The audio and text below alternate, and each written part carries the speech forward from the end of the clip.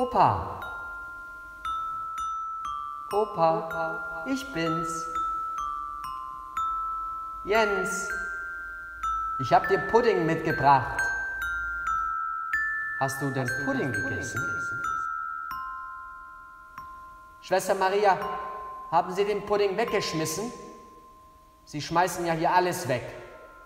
Den kann man doch auswaschen. Muss man doch nicht wegschmeißen. Opa,